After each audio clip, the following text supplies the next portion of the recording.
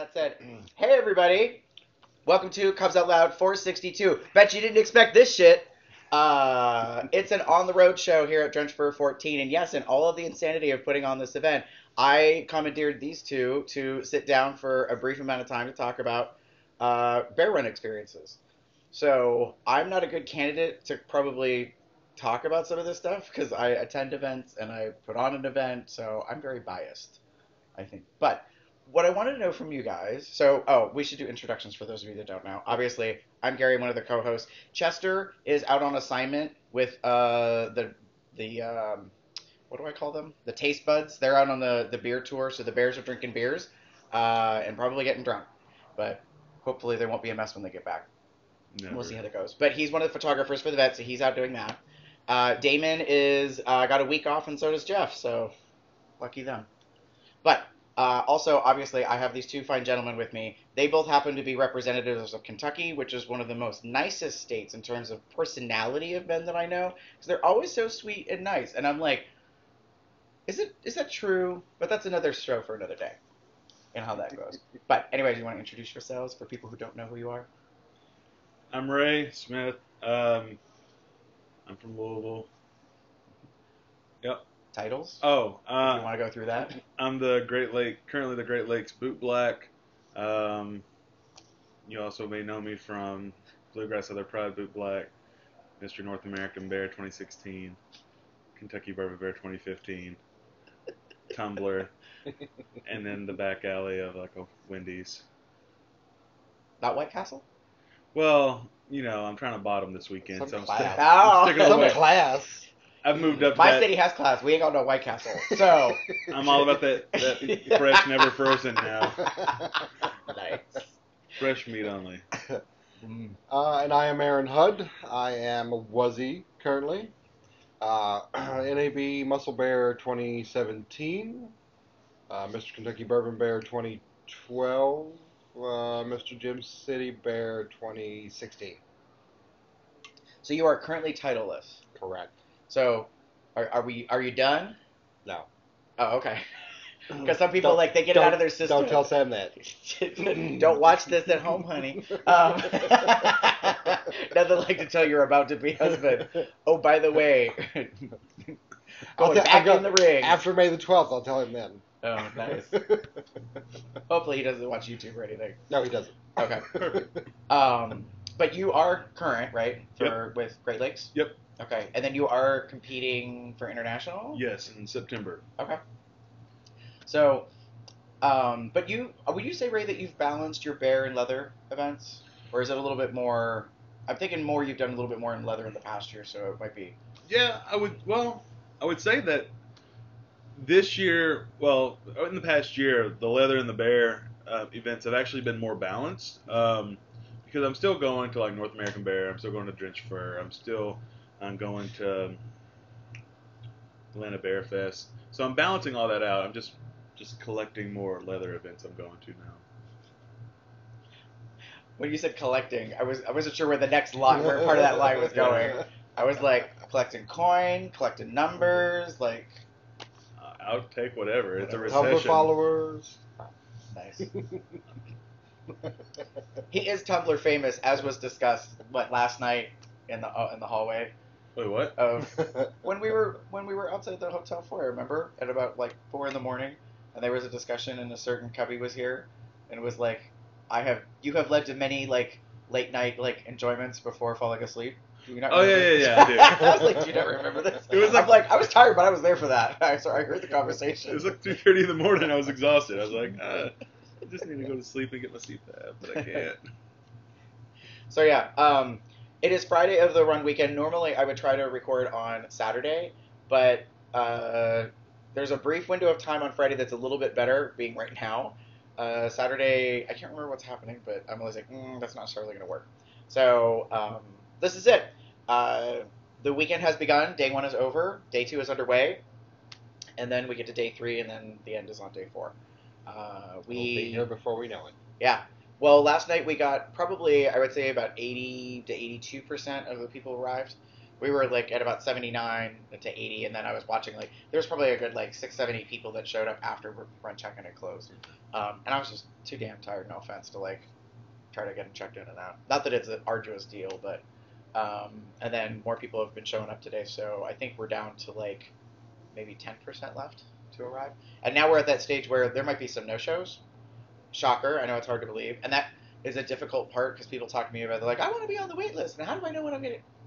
Well, I kind of don't know. Like, people could literally roll in at like 10 p.m. tonight, and they're still a part of the weekend unless they call and let us know that they're not coming. So there's a reason that you book, and there's a reason you reserve, and then make sure you do the reverse, um, kind of thing. But yeah, my understanding is that for both of you, probably your experience at a lot of bear events has probably been more on the side of either working the event or volunteering the event than necessarily just going on a whim to attend it. Does that seem fair, or Um, Yeah. I actually have a, a pretty big mix. There's a lot of times I will volunteer to do stuff, but I have been asked to come to certain events solely to be there as a representative and not do anything. So I got to be there and enjoy the event. that sounds like you're pretty. We just want you to stand around and, and that's it. It's not a complaint. I'm just clarifying. I'm like, I was like, wait, is that a fair assessment? Like, they just want you to be there because of title, or oh, okay. But do you think though also, I mean this is just me, sorry for interjecting, but like do you think though like also being there too that like you feel like also you have to work sort of in that on moment of where you're like always being peppy and happy and like, hi, how's it going? Being very social and Well, yes, I Yeah, mean, that's, so- because that's I'm there. I'm going to be there to represent Right. North American Bear yeah. or Gem City Bear or Kentucky Bourbon Bears, whatever. Right. So yes, it's I'm, I'm going to be on. I'm still working. Working, yeah. Right. I just don't have a shift. Yeah. You don't have a crazy run coordinator putting you into a scheduling website apparatus that constantly pings you and is like, hey, Aaron, in 10 minutes you have a shift. Hey, Ray, in four minutes you have a shift. And you're just like, stop talking to me! No, it was good. It woke me up for my nap. well, there you go. There you go. Um, we started using that app, by the way, uh, a year ago. I had uh, been searching for two years online to go digital because the committee hates my massive Google spreadsheet. They're like, this is too much. And I'm like, not for someone who has OCD and is very visual because, like, it's all laid out in one big old thing and they didn't care for it and then so i used to literally like copy paste and hand type and then send them individually and then it was a problem because then if you made one change i had to reprint everybody's stuff so then when I found this online solution, I was like, wow, this looks really good. So we use actually a scheduling system that's meant for businesses. Mhm. So that's why it's a little odd because it talks about positions and shifts and employees and managers. And it's like, it's not meant to be run like a business, but it does pretty well. It works. So Yeah. It's been a it's been a very efficient system. yeah. So, um, but I'm happy with with how it's working out. I'm still transitioning and getting comfortable with remembering to look in it to understand and know where everybody is because I was so used to that spreadsheet for years that I'm converting over to that. So, um, but the reason I wanted to talk to you guys is that you kind of represent an evolution for our particular event. For many years, we had volunteers, but the volunteers were already run attendees who were just picking up like an hour here or a couple hours there, kind of out of the goodness of their own heart type situation. And I've been approached for many years, and people were like, I'll come to your run if you comp me everything, and I'll do whatever you want. And I don't like that blanket statement because it's basically like, I will be your slave 24 7 for like four days. Which I'm like, first of all, never do that. Second of all, people take advantage of you Mhm. and not the way you want, probably. So I was like, no, like that just just so risky in weird ways. It makes me feel very uncomfortable. Like, because then I feel responsible for you and your experience, like on a heightened level compared to just an attendee. Yeah. And I know that by personality, you guys have seen me now the past. What you've been? This is your third, Third year here, yeah. and Aaron, this is your Second. second. So you guys know what run mode me is like versus any other day. Right. And one of the things I know I have a really difficult time with, like that Adam who puts on NAB and about to be uh, World Bear Weekend does, and Adam's here as a vendor. I love him so much, but you guys have this great Southern hospitality kind of personality, and it's just not me. I am very northeastern, like to the business, got to get shut down. and it's like so I know like I'm walking faster to the hotel, I'm not smiling at people, I'm like not paying attention because I'm like duck and cover, like I'm trying to get through crowds of people that are standing around and blah blah blah, and it's kind of like, and they're all like, hey Gary, and I'm like hi, and I just keep I'm on a mission. I gotta go. I got a thing to do. Um, I think it's just a personality piece. Yeah. So I know that, especially for first timers, they're probably like, "What a dick!" Like, you know what I mean? Like, you know, he doesn't really take time. But I kind of, in a way, rely heavily on you guys as what I guess I kind of think of now as like mega volunteers or super volunteers, and my other committee members who uh, have been delegated to things while I'm trying to like run the entire operation while having one foot in doing whatever that other stuff is. And so I appreciate that others hopefully are massaging my roughness, so to speak, or my my uh, business kind of aspect of those things. But um, when Will be your rhinestones. I hey, girl, you can be the tiara. I don't care. the the thing for me is that um, I'm I've been slowly coming around to the understanding that you can have full time volunteership, but my feeling on it is you need to have established good relationships with people that understand your personality, understand the flavor of the event, and then really also can rise to the occasion about execution. Like mm-hmm. you guys kind of understand how I operate here. I don't know based on other events that you've been to for volunteering or working. To me, I constantly see this event as not a Swiss watch, but it's intricate and there's a lot of things going on constantly, even though the layperson may not see it. And so it's always about fine tuning and this little thing and that other stuff and then and I'm thinking like six, seventeen steps ahead about how we're gonna handle this. I don't know if that's normal. Like I know a lot of it is my personality, but I don't know if other events are kind of operating on that level because I've been to some and I feel they're very kind of like oh, everything's kind of laid mm, back and whatever. Do this and this. And and it's not that it's a, a bad event. I kind of get jealous of that, you know, like laissez-faire, like oh, no, things are good, things are good, you know, and it's like, and it seems like things are fine. So there's a part of me that's like, you know, like wondering in the background, like if I pull the curtain back, is it like rah, you know, like organized chaos kind of, which is the way I think of this, or is it just different? I don't know if you guys can. I realize I kind of talked a lot to give you some things to think about, but Um, honestly, I will say from the events that I've worked with, this is probably the most organized, structured from from from the working uh, point of view. Because I mean, I've been to bear runs where it's like, well, shit, the lunch is an hour late. What are these bears gonna eat? And it's just like bears are angry. They want their food. They want their tacos. But like, you know, here it's just like like if I'm ever wondering like where am I supposed to be? It's like, oh, let me look at this schedule that Gary gave me. like, right there, right there. like, and I love it because like, like I can like, okay, so I have to do this at this time, this at this time, this at this time. I can have sex here. I can take a shower here. I can do, I can go get sheets Get the here. hot tub here. Yeah, like, and for me, it allows me to plan out my day so I know what to do and when to do it and where to be.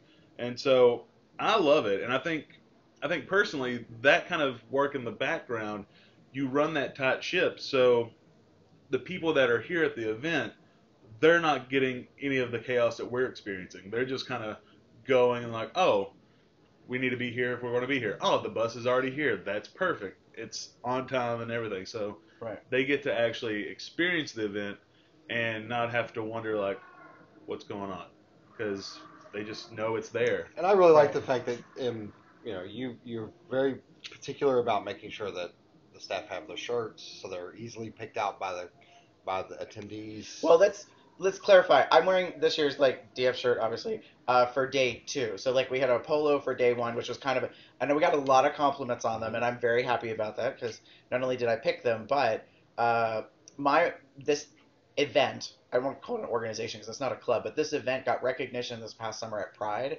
So the local uh, Northwest PA Pride Alliance, the Pride organization, they decided to start recognizing entities that have been contributing to the community for 10 years or more. Mhm. And so, since it had been 13 years of Drenched Fur in existence, they actually awarded us with this recognition. And we were going to be at Pride, and they wanted to call us up on stage, and they're going to give us an award, and we get a letter from the state, from uh, our senator, like. And I was like, well, this is sort of a big deal. Like, Yeah. but we didn't work towards it; it just happened. And I was like, well, I don't want us to look like crap walking up there and just be all mixed match or whatever. I was like, I want a united front. Mhm. So, and I wanted to pay back to my committee, who a lot of these guys have been here for a handful of years, if not longer. And so I was like, and I know in like businesses where I was thinking corporate culture, it's like you get a pin or you get a little thing, and I was like, no offense, fuck that. I was like, I want something practical that they can use, but I want it to be good. And so I reached out to who does our towels, and I told uh, Jeremy there, I said, all right, I need all the bells and whistles, and then I need about three versions. So like, show me top of the line, and then uh, the one that doesn't make my eyes bulge out, the one that doesn't make my wallet scream, and you know, like, so I could figure out what was affordable. Right. And then we ended up going with those, and I was so happy yesterday. A lot of people complimented on them, and it was funny because I was like, yes, like. Not only do I know it's visually working, but people are like, "Those are really nice," and I kind of like that, and this and that. And some people made comments because I put service time. So it says your first name and then how long you've been with the committee. So it could be like uh, two plus years, five plus years, or ten plus years. So they're kind of categories. So you can wear them for multiple times. Well, so, So- so to jump on what Ray was saying about Right. it being a little hectic for us, but we know where we're supposed to be. For attendees, it was nice because every time they had to be somewhere, it was easy for them to say, "Okay, that person in the blue shirt is obviously here Right. for this position," and they know they can come to them and ask questions. Yeah. Or if they see us running around the, the building, they can stop us. Right. Yeah. So So so we did the polos yesterday because we talked and I was like, I think I really want to put the best stuff on the first day, and then the second day is this year's theme shirt. So it has our logo uh, screened on the back, and so this is just a, a lightweight, easy kind of you know throw on. Uh, type shirt, and then actually uh, Gabe, who's been on COL, he gave me a hug today, and he's like, "I really like the feel of the shirt." He was cracking me up to no end, and I was like, "It's just a shirt, like it's just, it's a lightweight kind of rayon, whatever." I said it's good in every aspect but one. Velcro in this, snags on it. yeah, they don't like each other at all. So I'm like, you just gotta kind of keep those two separated. but no, so um, and then tomorrow and Sunday, I was like, if you have an older shirt, like last year's Drenched Fur shirt or any previous year, like because I just don't, I wasn't gonna supply four days worth of attire, and I wanted you guys, um, whether you're volunteers as part of the staff or the committee, to have a little relaxation as the weekend goes on. Because the key about this size event is by the time we get to tomorrow, day three, a lot of the faces have seen our faces, so they start recognizing, oh, this is a person who's kind of working the event. So I, if I have a question, I can ask them. Yeah. So it to me, it's about kind of like a, I guess a curve drop off on a graph, like like oh, here's like the how much the frequency, and then over time. So by the time we get to Sunday brunch, to be like, oh, him, yeah, that's the guy in charge, whatever. Let's go ask them. Yeah. So, um, so yeah, so the visual representation is a key piece that I hope works well with all that other stuff in the background because I've been to events, and that's one of the things that I always work on. So if anybody out there is working on events or thinks they want to work on event, when I get asked about like what are some things to do to be successful, do everything the way you want to do it, especially if it's not the way you like it being done someplace else. Meaning, you go someplace and you're like, I really don't care for this. Obviously, don't do that. If anything, do the opposite of it. Like, find the other way of handling something. Adam and I were commiserating last night talking about stuff. NAB is four times the size of this event. I can't imagine trying to one run it and two the way we do some things would not scale well. It's just Right. you there you're talking about a population index issue. So like we have a committee of 10 and then we've got three uh, individuals who are basically what i'm calling like super volunteers who are like pretty much putting in almost the same amount of time as some of the committee members or associates so the but that's just for this size event what i don't know is is it fair to say multiply that times four for nab or are you able to like work more and i know you guys can't answer this really but is it like working more magic? Like do you just supply like crack or meth to everybody to keep them running through the weekend? Or maybe it doesn't necessarily you know do its thing. Um, but you guys have been to all sorts of different events so i imagine everyone kind of has a, a flavor on how they keep the the motion going or the people and the the jobs and that kind of stuff. Not jobs but duties Yeah, I mean, with NAB even they have, I mean they have volunteers, but also like they have like their board and like people that are in the actual uh, Kentucky Bourbon Bears group, and Right. those are like your main ones. But I mean they advertise a lot of if you want to work four to eight hours, at, you know, during the run, Right. we can help give you discounts. Um, which I think it works, but also though it can be a struggle. can struggle. lead to oh so and so didn't show up for the weekend or oh they didn't come Yeah. to their shift and so now who are we going to call to come do this Yeah. and you- you really don't get to know that person either. So, and I think even when you have bigger events like that, that can be an issue that you can run into is that you mm-hmm. have you have to pull from the community, and you really don't know who they are. So you don't know if they're going to be able to show up on time, if they're going to, you know, be able to do the work in general. So that's one thing I, I really enjoy about smaller events is that when you have that your volunteer staff that you know personally, you know what they're capable of, you can better like point them to the right direction of what jobs or duties will be Right. best fit for them, and Right. it's it works well. I feel like that also helps with the dynamics between the, the volunteers. Yeah. Because each volunteer starts to learn, okay, well, this one's really good at this, and this one's really good at this, and Right. I may have an issue that I can't, I can't resolve, but I know. Right. Well, let me call AJ and see if AJ can do what he can do, or Right. or Elliot. So Right. No, and I think that's that's key, like to the cohesiveness, like how the team works together, and that's that's also something to be said for consistency. Like I know we get complimented about our event, and in one key area, I just have to chalk it up to, I've been I've created the event with John Riley back in year one and carried it forward ever since.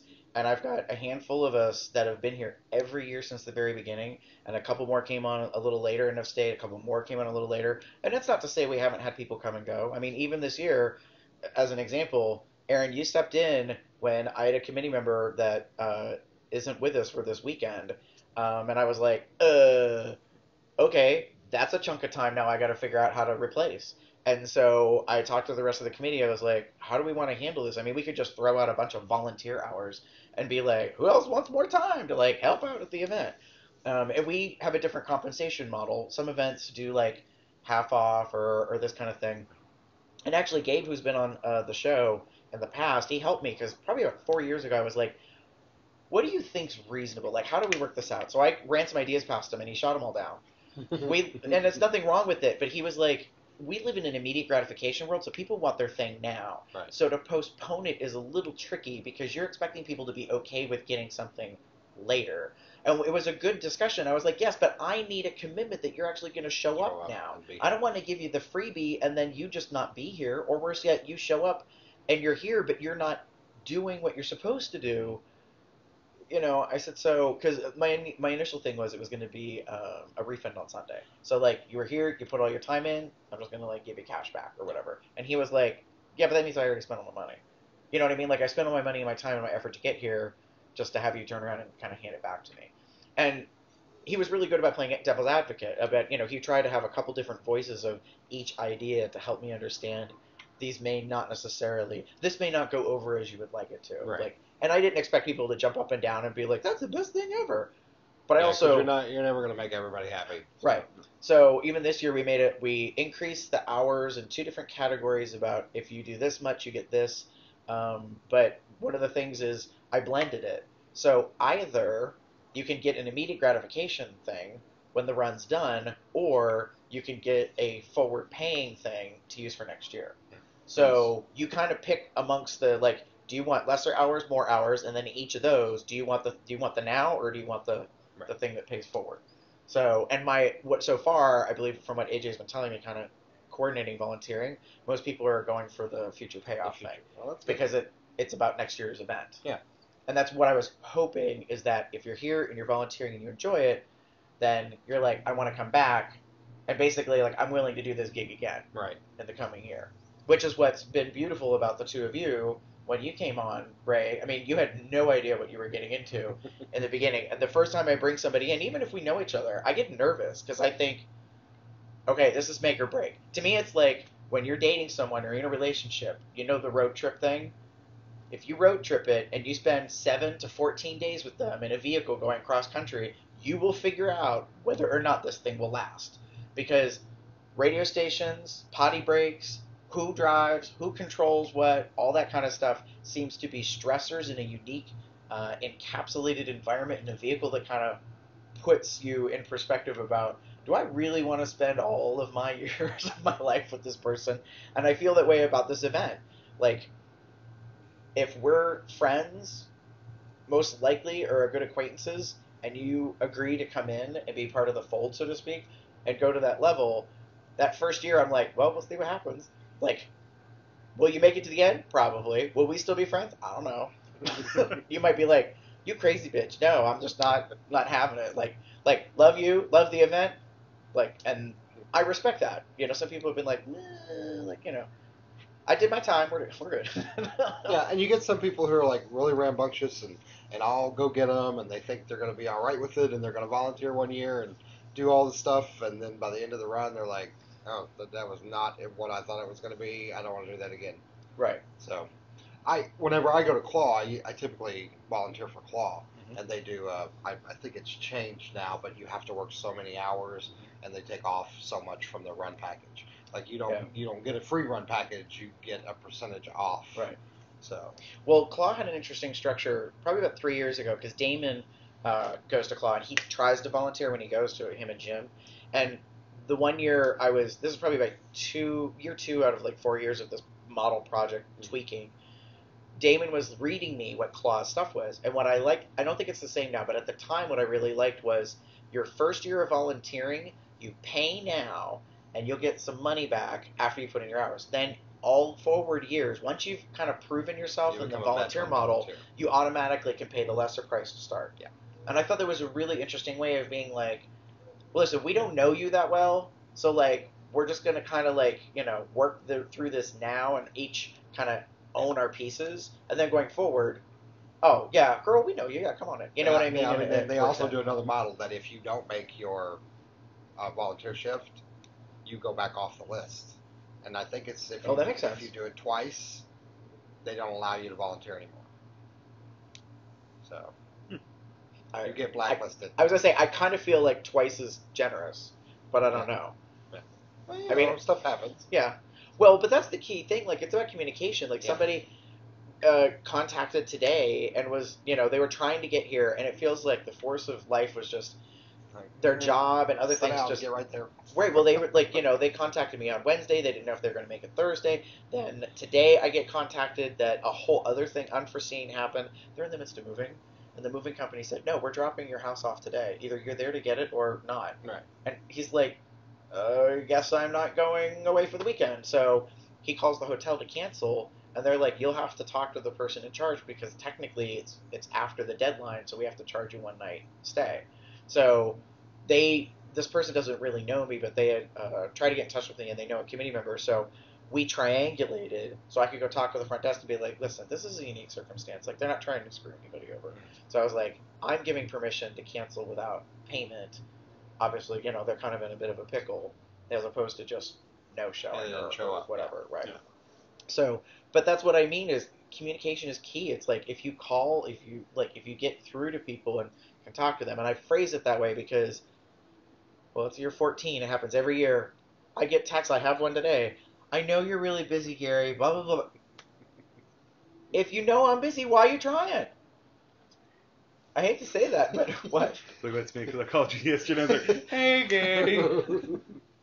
Well, that's different though. We're- this person kind of knows me, but it's like they Facebook know me, like and we're Oh, acquaintances. okay. You know what I mean? And so I was like, well, if you really knew me, then you would probably know now's not the time, like at the last minute to try to.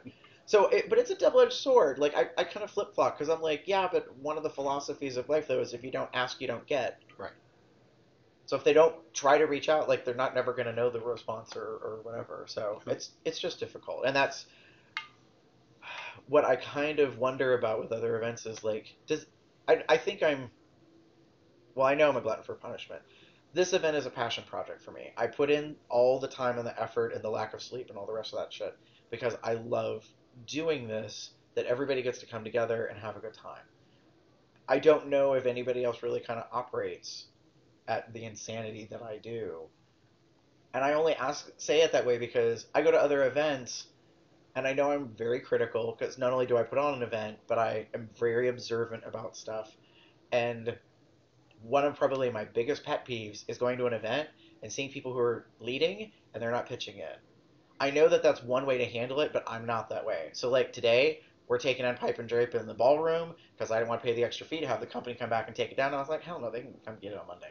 So I was like, I need eight volunteers. Let's figure out how we do this. Bing, bang, boom, take it apart, and all that. I'm in there folding drape, taking you know piping apart and all that kind of stuff. And while they're in the midst of doing it, I was like, how many other events do you see the person in charge running around doing that? And that's why I question. I'm like, like, am I not a good delegator, or am I? You know what I mean? Like, and that's not really fair to ask you guys. It's just my in my inner reflection about trying to to see myself while being myself. Does that make sense? Yeah. Well, but I think though, I mean, you could say that it means that you're not a, de- a good delegator, but what it does show, honestly, is that you're not you don't put yourself on this pedestal above like the volunteers. Like you listen to me and you do exactly what I say. He's like you're like, no, bitch, let's get down and let's get this done Yeah. because I got other shit that I need to do. so let's get this done.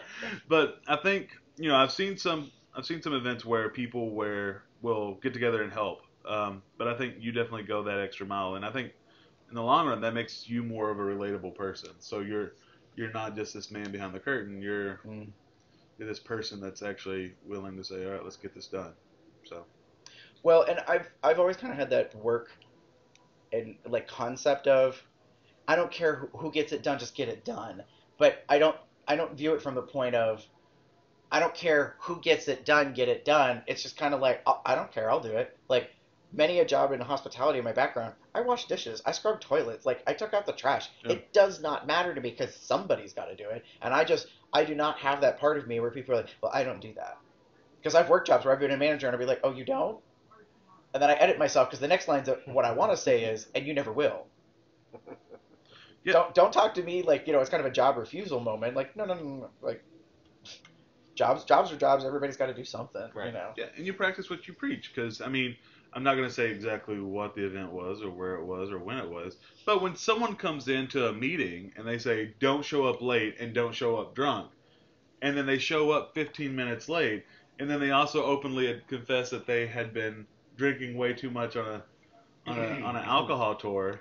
Oh. I'm just saying. No, no, no, I it was a understand that. tasting. Oh, a tasting. Well, sh- Apparently, this one understands your story. she tasted a whole bottle. girl. Uh-huh. tasted a whole bottle. She tasted the inside of it with her tongue and everything, every last drop. I don't know what, who the person or whatever that is, but no, I mean I've seen that at work though. Like um, with my previous job, it drove me crazy as a corporate trainer to see another trainer go through the guidelines. So no food at your station with the computers and blah blah blah, and these type of containers and all that. And then later during class, has a pop tart, has a, and I'm like sitting there and I'm like, I cannot believe you have no offense, the balls as a woman to sit there like that. And I'm like, really? And I'm like, I- I can't. Like, I walk out of the room. I was like, there's, it's not the worst infraction in the world, but I was just kind of like, you expect them to take you seriously, like to Right. lead by doing the exact opposite of what they're telling you? They Like, that just lose all make sense. credibility Yeah. because of Yeah. it. So, are you saying that I'm credible? Don't answer that. you Um, are incredible. I'm insane. That's Well, what that is. you can- you can Incredibly sane. Oh, yeah. So, um, compared to your previous two years, switching tracks a little bit, and your past year, Aaron, what's it been like so far for the the day and a half ish? Um, is it like, does it feel normal? Does it seem similar, or does it seem you know something stands out, or is is unique, or whatever? Um, I think it's kind of the same. I mean, now that this isn't my first or second rodeo, it's it's more like I can click on that mindset of this is what I need to do, this is where I need to be, and this is how I need to be. This is Mhm. like um, so it allows me to have that kind of downtime when I need it, so I can rest, so I'm not burnt out by six o'clock at night when I'm trying to sell raffle tickets. Right. Like so, um, I think it's going smooth uh, on my side. I mean, everything's laid out. I know where to go, when to go, and Mhm. yeah, I like it. Okay. and I'm ex-military, so if I have a set of orders, I'll I'll go on them. So, and being a squid, I can fall asleep anywhere. So, whatever time, Yeah. It's floor, I have chair, I have- Yeah, I have a committee member who's uh, ex-military. I have a contract entertainer that is ex-military, and then you. And I'm not advocating this, but I will say this: there's just something that gives a little bit of a, a breath of relief because you know if they have that in their background, then it's sort of an automatic. They understand like timing, execution, implementation. You know what I mean? Like that's just part of like what you've been raised in within the the rank of the the service. So, um, and that's something I appreciate because then hopefully, in a way, what I really like is that it rubs off on other people. Like they can be like, oh, Aaron's always punctual and he's on time and he's you know, and people kind of see that and understand, like, oh, you know, that's admirable and maybe I would like to you know kind of represent that as well. Uh, and it's, it's so it's appreciated. I asked the question about the difference because last year, and I think I discussed this with you, Ray, I had really bad moments of deja vu.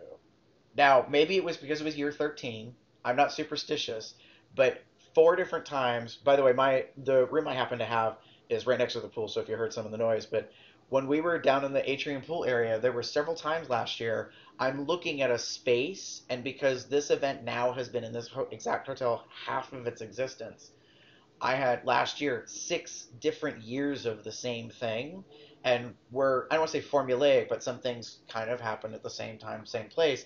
And I had weird moments where I was like, "Oh look, there's AJ doing blah blah blah," and now he's about to, and he doesn't, and then I'm like, "What the hell's going on with me?" Like I don't, I didn't was like, I'm like, "Am I having a quantum leap moment? Like what is what is going on?" And then I started to realize, "Oh, my brain's broken.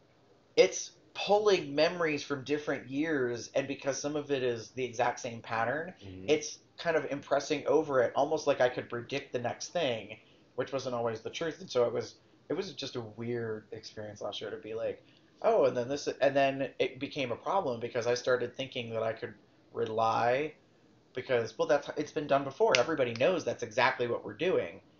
No, you still have to go over it. Like you still have to discuss and make sure is it a sign? Do they know what's happening instead of presuming, you know, oh well because you know Bob Because has always done this. Bob knows exactly what he's doing. No, I still need to check in with Bob. Like make sure that he knows. Like, are you good? Do you have everything? Yeah.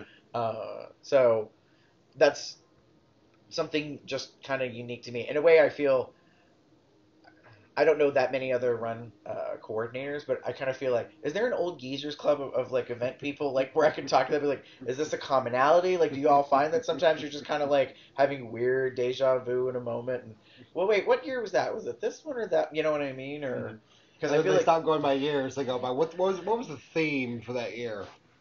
well, I mean, internally within the committee, sometimes we we earmark stuff by things that happen. Mhm. So it's not even what the theme was or what the the numerical year was. It was, oh, that's the year that blah blah blah happened. And unfortunately, it's the things that stand out that you remember. And the human brain has capacity for the more negative side of things as opposed to Mhm. the positive. So you're kind of like, oh, yeah, that's the year that the person got so drunk at the bar that they threw up on the bus on the way back. So when the bus driver pulls up to the hotel and I go to you know to see how she's doing, she leaps off the bus to go inside to ask them for a mop, and as she passes me, not at a sprint, but kind of as like you know at a gallop, and she says, um, "What did she say? Oh, she said it so fast I didn't quite catch it. It took a couple seconds to register. She said, "You have a puker," but I didn't. I the word puker, Puker. wasn't computing at first because I was like, I was like, damn, she must have to go to the bathroom. Like you know, she just did did it did it, and then I was like, oh, we got a problem. Like, you know, we go clean the bus, like, before we take anybody anywhere. And then, of course, you end up with the infamous, don't sit there, Yeah. you know, kind of thing. Um, but that's what I mean. Like, there's some things that kind of happen. You remember this or, or that kind of thing. Yeah. Um, in that. But, so we'll see how the rest of the weekend goes. I'm, I will fully admit it has not been a perfect launch. Uh, we had a series of things that came up unexpectedly last night. And, of course, as sometimes it happens, while one thing is occurring, then the next thing lands on you, and this. And I made a joke of it earlier. Um, do you guys both know Bert uh, from Delaware that's here?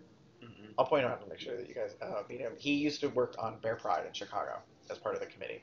And he and I were talking a little bit today, and I told him, I said, yeah, after about the fourth and then the fifth thing came up, I was like, all right, whatever, like, no, no, nah, like, it is day one. We're to squash this right now. Like, this is not to be the year of nothing but fires nonstop all weekend. That's not how this works. Like, like, so, and it did, it kind of calmed down, but I was happy because I thought, this is not the beginning of like a domino effect or a tidal wave. I was like, no, no, no.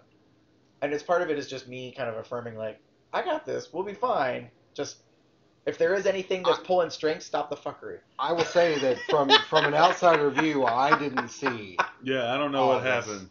So you did a you did an excellent job of hiding it from everyone else Well, that it was going Thanks on. for So- calling yourself out, girl. No, I'll, like I'll explain really quickly because I mean some of it is is already publicly known. The first thing that started to happen, unfortunately, is that our karaoke DJ, his external one terabyte hard drive got corrupted, and so he couldn't play any files off of it, and therefore the karaoke software wouldn't work. So the whole thing came to basically a screeching halt. And he worked on it for like one to two hours before it was supposed to start, and then all the way almost like halfway through actual karaoke. And people were being kind of polite and nice, and those that know him were checking in, but I could tell he was pretty much having a meltdown because he's here to do this one thing and he can't do the thing that he's supposed to.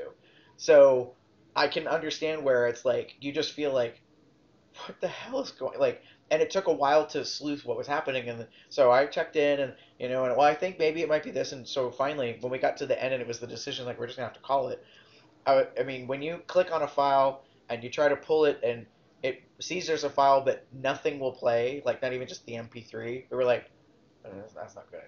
And there's nothing then so I did like five minutes of brainstorming. I was like did you have a cloud backup somewhere that we could maybe download? He's like it's a terabyte. Even so it would take a while Yeah. but see what he doesn't know is I have a wiped terabyte like external sitting at my house that I just like a couple months ago took stuff off of. So in my brain, I'm like, I'll drive 15 minutes back to my fucking house and bring it back. Like you know, we'll just trade it out or swap it. But he had good points. He was like, no, if it's a problem, so that happens. And then we have an issue with uh, someone hurting themselves, so I have to ask my paramedic committee member to get involved. So we do that. Not nothing significant, just minor kind of thing. And then uh, I have to address a issue with um, communication from us to staff and their lack of knowledge about something. So both property and I owned because we talked about it and then I never sent them the thing and because I didn't send it they didn't think about they needed to explain. So that's always fun. So we both kind of like, yep, that was that was that was both of us. Uh, and then we had the incident with the canopy and the heater. Oh, okay. So yeah, you guys, so you guys, could, so it's like, but all of that happened within maybe an hour. So I'm like, oh, I gotta deal with this, and then I gotta deal with this, and then, and then at the same time, I have people that are affected. So it's not just things. I have people who are taking a lot on emotionally, Mhm. and like very concerned because they want to do good by whatever it is that they do, whether they work for the hotel or they are part of the committee or they're hired for contract, like. And that's probably the one thing that I I feel bad about because I operate, I guess, like on high octane this weekend.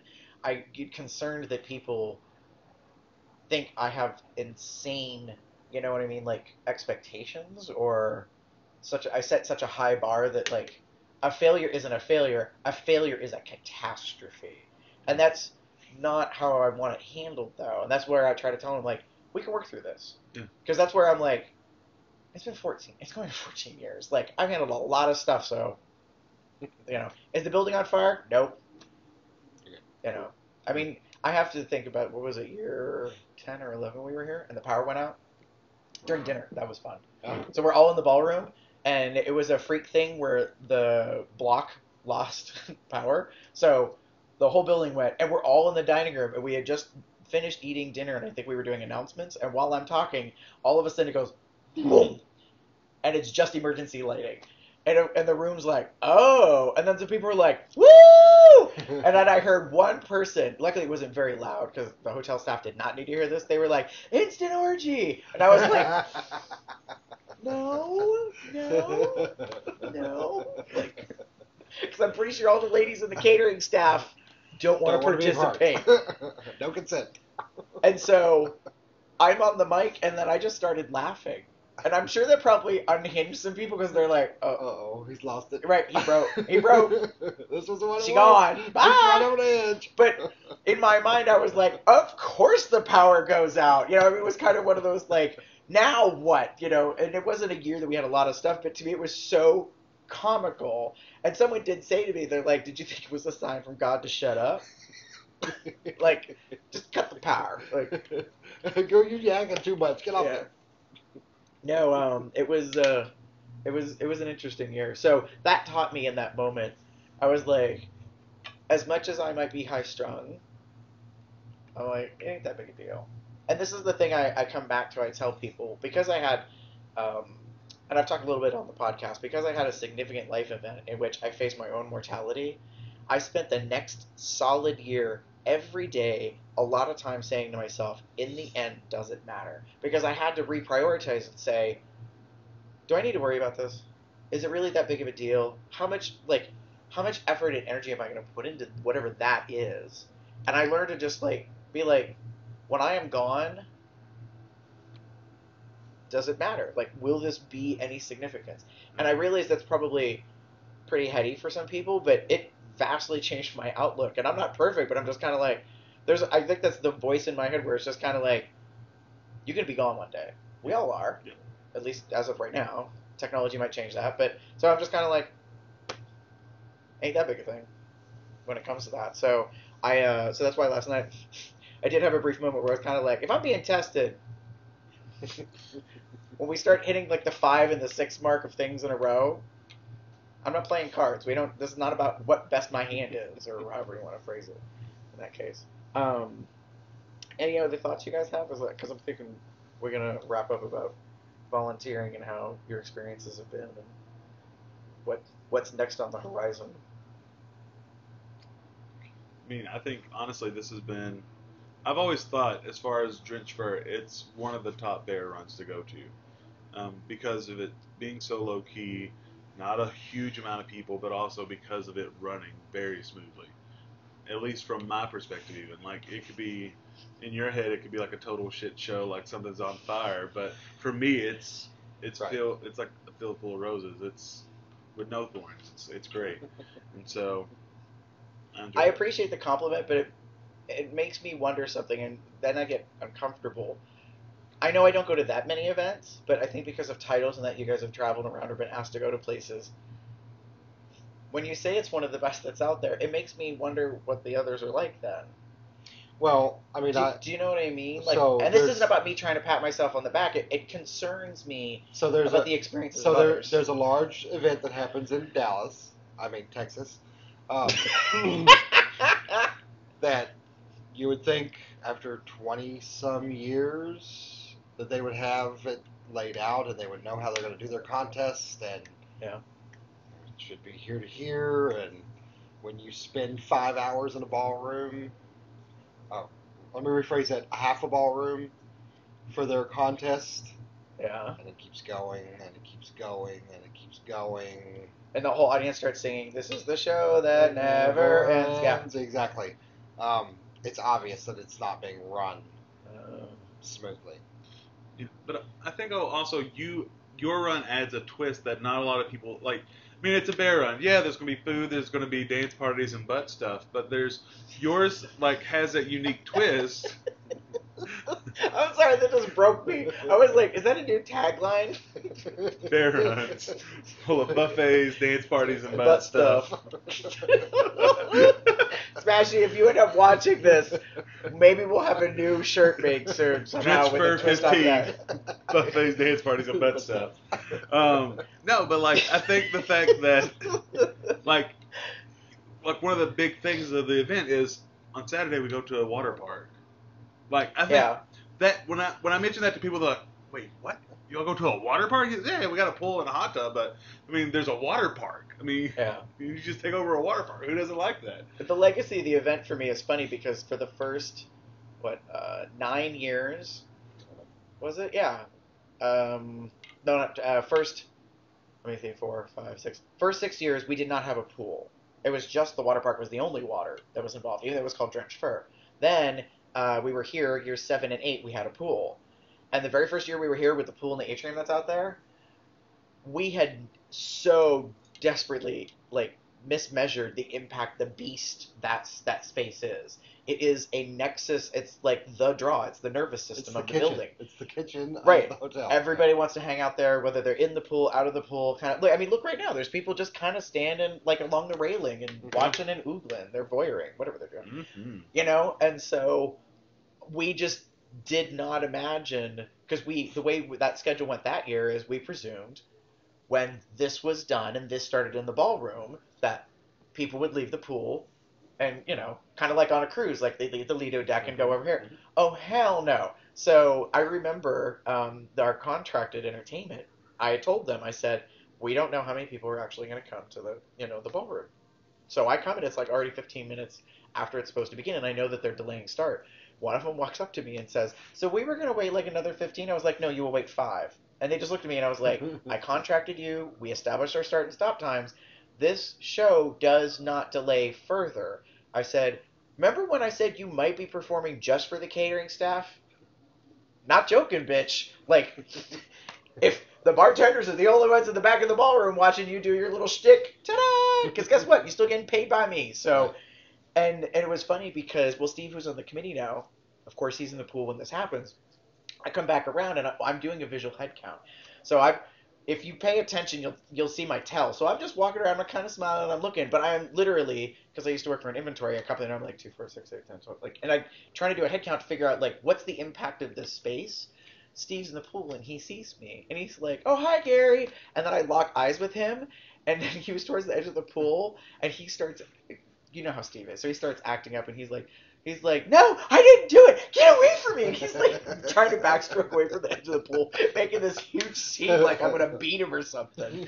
And he, and so he Oh, calls. not the iron. Yeah, really. Not again. I promise I won't again. And so I mean, it was just silly, and I knew we've known each other forever, and I was kind of like, but I, I imagine newbies are kind of like, what the hell's that drama about? And they're like, so anyways, he said, is everything okay? I said, yeah. And as I'm getting ready and I'm walking the full loop and I'm getting ready to walk out of the atrium, he goes, he goes, when does that music thing start? I said five minutes ago, and he goes, oh, oh, like it, he clicked. He's like, that's why you're in here. But I wasn't telling people to get out of the pool and go. I've heard horror stories about that. Yeah. That other events dictate where you are and when you are, and I still don't understand that. One, how it happens, and two, uh, because I've never experienced it. Because I'm like, who the hell tells people this is where you will be at this time? Like, yeah, there's a schedule, but it. I mean, it's optional. Right. Like I've never, heard, I don't understand events that people give me the impression like, no, then you have to be there. Yeah, well, I mean, like I've I been don't in, at runs with a pool party with like hundred plus guys in, in a pool party, and like people getting the DJ getting on the microphone like, everyone shut up, keep quiet, quiet down, people. It's like it's a pool party with a loud echoing. It's echoing like crazy, and you're trying to tell hundred plus people to be quiet Why were they telling them to be quiet? That's Be- the part where I'm tripped up. I'm like, because they can't play their music, so they have to crank their music up louder, and it's like that's just making people talk louder, and then oh. Right. So I'm probably gonna get hot water for saying this, but it ain't about you, honey. Mm-hmm. You are the background. You Yeah. are the wallpaper. You are not the center of attention. You got paid to be there. Do what you're doing. Jeffro taught me that. Like he's an artist performer, and when I went and saw him in a couple of venues, um, in the early years when we started becoming friends, I struggled because I would go places and I could not get over how people were not paying attention to his ass. I was like, this man is fine. He is talented. Shut your pie hole and pay attention to the man on stage. Because that's just always that's how I was raised. It's like an entertainer. You go to see them, you pay attention. So I talked to him afterwards, and he was like, "No, it's okay." And it was so funny because I was like, "No, it's not." And he goes, "No, I still got paid. yep, A gig is a gig. I got paid. He's like, whether they pay attention or they don't. He said, I've done them all. I've done them where like the entire audience can't hear a pin drop, which is a little creepy. But you know, the, I say that. He said, and then I've had like I've been in places where I'm like, why? I'm thinking, why am I here? Oh, that's right, I'm getting paid because no one is paying attention to you. He said it's all sorts of stuff. He said, and that really taught him. And then he he gave me that lesson. I am but here to fill the silence. I am here to avoid the awkwardness or the emptiness. So I'm the background. I'm the wallpaper. I'm the whatever. And I was like, oh, I get it. Like you are not here to be in the spotlight. That's a different kind of production or whatever. You are just here to be whatever. So it it I found it really interesting. So to hear you talk about where the DJ like is trying to out audio the the noise of the I'd be, I'd be the first one to be like knock that off. yeah. I'd be like, let me see your board. That mark, don't move above it. I might threaten to break their finger, which I wouldn't. But you know, it's kind of like no, like that's that's that's crazy to me. But that's me. Like, and I realize that some people might be like, Jesus, aren't you bossy? This is about everybody's experience, not just a person's experience. I mean, don't get me wrong. Every person's experience is important, but I try to I try to instill this in people. I love you dearly, Ray, but your bubble is not more important than my bubble. And I think you understand that. But I know people who Who don't get it. don't, and they're kind of like, no, my bubble is important. And I'm kind of like thinking to myself, depending on how the conversation goes, one of one of the aspects of my personality is kind of like, I'm about to pop it, bitch. Like, don't. No, like, yes, we all live in our own personal world. That's what I mean by a bubble, and it is important, but you are part of a larger thing. So it's not always going to be centered and focused on you. Right. So how about we all get along, you know, to have a good time in that case? And I think that's what makes workers at an event, even and volunteers, the best ones, where they're not like, "Oh, I'm doing registration. Hi, you're gonna talk to me because I'm doing registration. All eyes on me." They're like, "I'm here to just get you through. I want to make sure your experience is smooth, not because I need to take selfies while I'm checking in every person, because they want to make sure it's smooth." So they You see how like that's just driving me nuts hearing these descriptions. I'm like, I'm twitching. I'm like, uh, part of me is like, who this bitch? Fire her. I would feel that way if I if it was a job and I had to run into that, let alone at an event. I'd be like, exactly. what's what's up with that? Well, I know what that's about. Anyway, it's a whole other I- show. I will. I will say this one really, really quick. So I have made a few really good friends by volunteering through events. Mhm. At Claw, I always volunteer with for the silent auction. That's one of my favorite things to work. Okay. Um, I have four people that have been friends for six years now because I met them while we worked silent auction, Yes. and I would have never, never run across them had I not volunteered to do that. Yep. Well, I mean, look at what happened with us. Ray and I are close. I think it's fair to say. I realize I'm like I'm about to say shit, and Ray might be like, "You think?" we met because of NAB because of you winning the title. Yep. And you gave me a T-shirt. Well, I will own. Cubs Out Loud. I was totally networking the maneuver. I was kind of like, we haven't really talked to a title holder. Like we've talked to people who have competed NAB. So we had, you know, uh, Matt and Chess and some other people on that. Um, you know, and, and yeah, the, there's a not winning and then later winning kind of component or whatever. But when you got up there, you had an electricity kind of about you, and the room was kind of like, who dat? Now, there were several layers. I'm not going to dispute the fact that some people were very thirsty, as deservedly so. But then there were other people who were kind of like, who is this guy? Like, what's the story with him?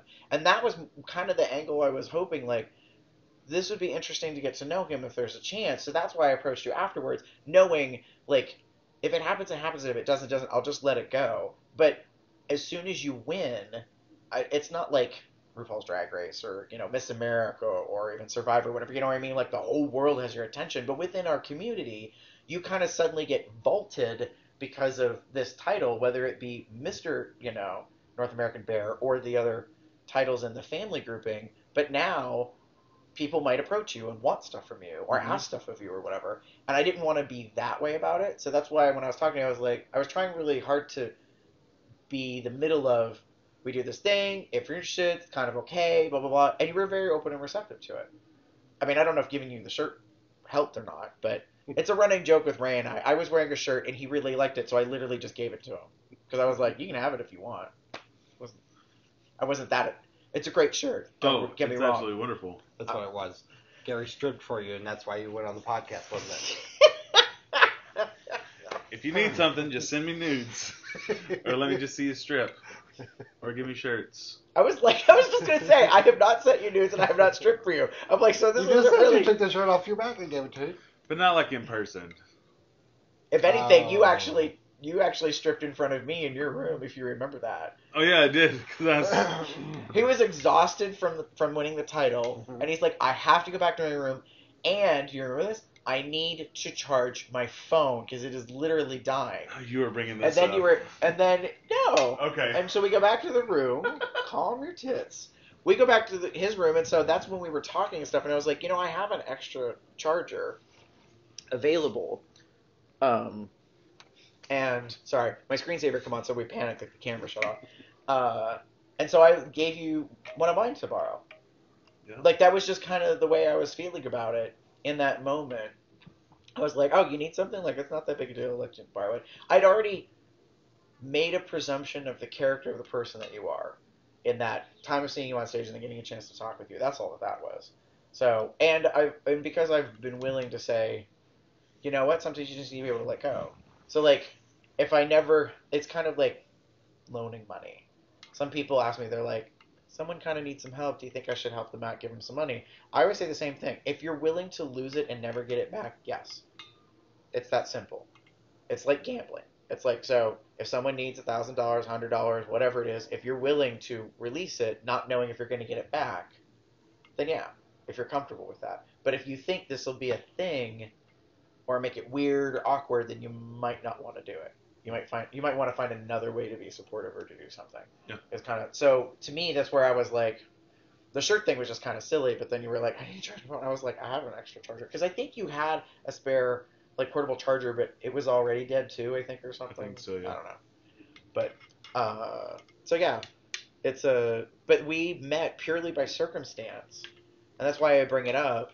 I didn't think by seeing you on stage, then win the title, talking to you afterwards, and then it just evolved. Like we had you on the podcast, you and I stayed in touch. We've talked, we've commiserated, um, we've been through a whole range of emotions Yeah. over the years, and so, you know, and that's to me that's what's amazing as an evolution. I mean, look at Jeff Workman.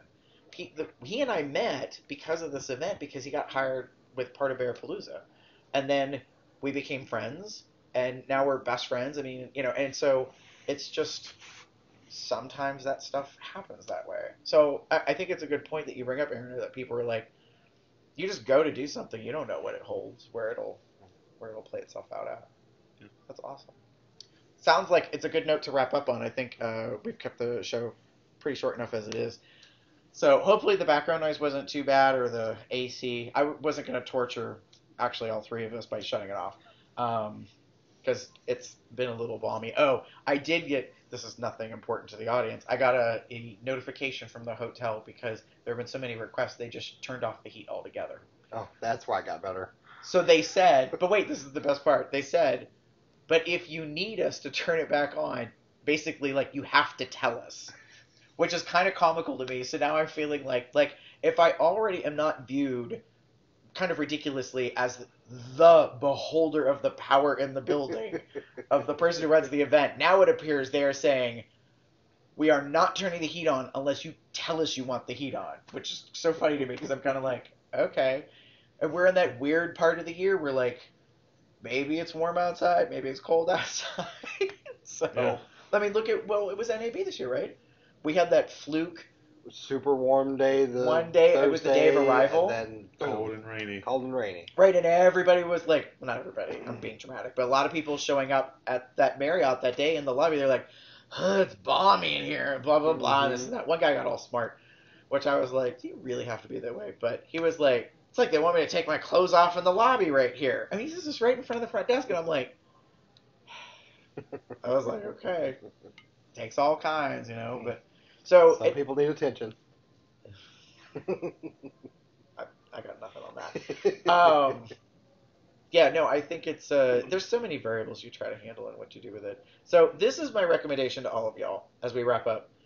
These guys are excellent representations of people that not only uh, can go to an event and have fun at an event, but also make the event a success. It's an it's something you consider as an option. I'm saying everybody has to do it, but I also think one of the biggest benefits is you get to figure out uh, how well you fit with said event. Because I think some people are like, well, I've never been to this event before. I don't know if I'm going to like it. I know some people, and I don't know if it's true for the two of you, have said to others, volunteer because it gives you something to do. So especially if you've never been there before, even though you don't know what you're kind of getting into, like especially if you're not traveling with friends or that kind of thing, you at least know you'll have something like Right. as opposed to being on your own to just find whatever is going on. Right. Absolutely. Yeah. So and we've had some we've had some good volunteers already this year that uh, make me happy, and so they've been uh, properly enthusiastic to help with the various activities so far. So yeah, that's very cool. So thank you both for coming on and being part of the show. Uh, I'm going to try to do this off the top of my head. So if you're already not familiar, you can find us in very many ways online. Obviously, go to cubsoutloud.com uh, for our blog slash website. Uh, you can send us an email at cubsoutloud at gmail.com. You can also give us a ring-a-ding at 361 COL Talk That's 361-825-6255. I got that wrong. Anyways, look it up. Uh, nobody heard It's on the the, line anyways. Yeah, it's on the webpage. All the social medias, Cubs Out Loud, one word basically put together. Um, if you do the podcast online thing, you can give us a thumbs up, subscribe, follow, promote us, that kind of stuff. We'd appreciate it. I'm uh, Gary Agobe, GaryBear73, online in most of the places. And if anybody would like to get in touch with the two of you, what's your kind of handle or preference for getting in touch with people? Um, for me, mainly on social media is going to be Sir Southern Comfort. Uh, that's S I R S S O U T H E R N C O M F O R T.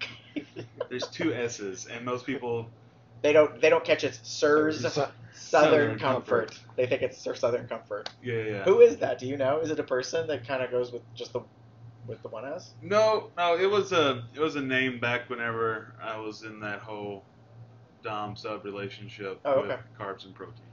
So, um, so yeah, Sarah Southern Comfort is probably the best way to find me. Okay. Um, so yeah, on Instagram, Tumblr. Yep. Okay. And I am uh, Salty Dog USN on Tumblr, pretty much anywhere, or uh, Kentucky Bubba, uh, Bubba Bear. And you actually have both of those on your name badge. I noticed that, and I don't know if that was because I put them that way. You did. Okay. I was like, ah, I don't know. Oh, there's a, there's not a character limit. Apparently not, because there's a lot of characters. Some people have to learn how to decrease the font size to fit all this shit on a name badge because I was like, oh, we're hmm. being a little extra, are we? We got to put two of our nicknames on there. Next next year, my name's gonna be Nina Bonina, Bofana, Bofana, Osama bin Laden, Jackson Brown, St. James Jr. the third. It'll be eight point font, but it'll all fit on there. Maybe I don't know. No, I teased AJ. I was like, "What is up with Aaron and having two things?" Like, oh, like, Why, he's the one that made me an entertainer on my bad, so. Oh yeah, that was my, that was my script. This is where people think like I do such a great job, and I'm like, do you know how many goofs, gaffes have happened? One of the vendors had the wrong color badge holder. A virgin, someone who's never been here before, was at orientation and found out what the colors were. Walked up to him and said, "Your lanyard's the wrong color." And the vendor's like, "What?" And he's like, "Yeah, yours." All the vendors are green. Yours isn't green. So the vendor comes to me and it's like, "Why are people telling my badge color is wrong?" And I'm like, "Oh, well, they're right." I was like, my, my bad. Like, we'll fix it. It was so funny. He was so befuddled by the fact that a brand new person was calling out this odd detail, and I was like, well, you know, what's something new we did this year? We tried to color code things, but yes, yours. I don't know how that happened. Somehow, the, your title on yours says, I think it says entertainment, yes. not not entertainer, entertainment, as opposed to volunteer. So I'm I'm, not- I don't know. I'm waiting for the organ grinder to show up behind me, and I'm supposed to start dancing. So yeah.